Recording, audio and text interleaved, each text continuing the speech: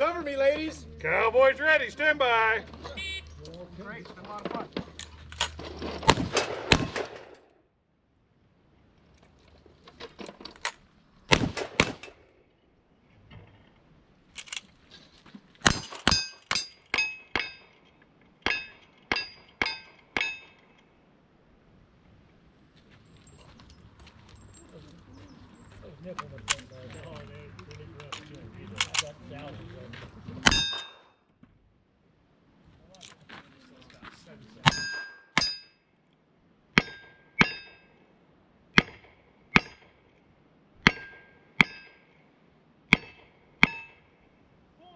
Seven seven, uh, hoo-yah! Hey, by the way, um, if you're going to EOT, you really might want to work on